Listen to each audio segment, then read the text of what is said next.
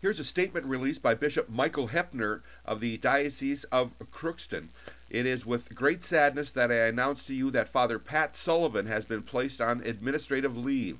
A report was made this past week that involved a boundary issue with Father Pat. The issue was non sexual and non criminal in nature. However, we take all these matters very seriously. Our Diocesan Review Board for the Protection of Children and Young People, after reviewing the matter, has recommended to me that Father Pat go for assessment and inpatient treatment. I ask that you keep everyone involved in your prayers. Uh, that's from uh, Bishop uh, Michael Hoeppner of the Diocese of Crookston. Father Sullivan was the uh, subject of another investigation uh, back in 2017. Here's a report from December 26 of 2017. We have some breaking news out of the Crookston Diocese. Father Pat Sullivan has been reinstated to continue his uh, priestly duties following an independent investigation. Here's a statement from the Diocese of Crookston.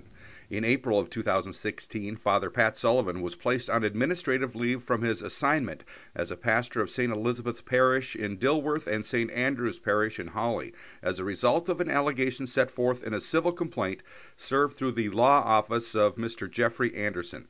The plaintiff alleged in 2008, while serving as a pastor of St. Mary's Mission Church in Red Lake, Minnesota, Father Sullivan engaged in unpermitted sexual conduct with the plaintiff when he was 15.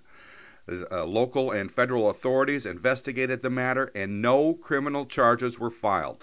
Father Sullivan has consistently denied the allegation. No other allegations have been made against him. The plaintiff was deposed by diocesan attorneys. The Diocese of Crookston Board of Review for the Protection of Children and Young People reviewed the des- uh, deposition of the plaintiff and deemed the allegation not credible. The board is comprised of two social workers, a county sheriff, a police detective, an attorney, and diocesan uh, priest. Following the policy and recommendation of the board and adhering to canon law, Bishop Hoeppner has reinstated Father Sullivan for public ministry. The Diocese of Crookston takes any and all accusations of sexual misconduct by clergy very seriously. If you or someone you have know has been a victim of sexual misconduct on the part of a priest, deacon, or individual representing the Diocese of Crookston, its parishes, or its schools, please contact Cindy Hulst LSW, the Diocesan uh, Victims Assistance Coordinator, at 218 281 7895.